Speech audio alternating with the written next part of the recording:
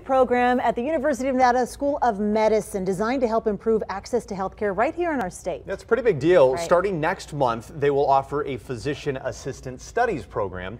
Chris Buckley spoke to the program coordinator this afternoon. And Chris, I'd imagine that this is a pretty competitive program.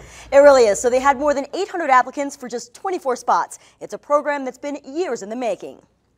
It's been about two years uh, of formulating how we're going to produce the curriculum, but even before that, many, many years of, of process and programming and just the idea of trying to bring a PA program to Northern Nevada has probably been around for greater than 10 years.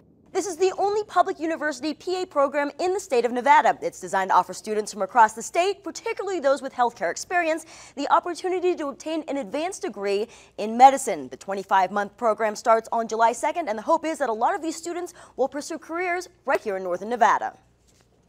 There are so many supporters. Renown Health has been amazing support for us. Uh, many of the community stakeholders have come together to really bring this program to fruition. There's a ton of excitement around it. And Nevada ranks number 48 in the nation when it comes to physicians per capita, so the hope is this program will help with access to healthcare right here. Demand for PAs is expected to grow by nearly 40% in the next 10 years. Covering the story live in the studio, Chris Buckley, Channel 2 News.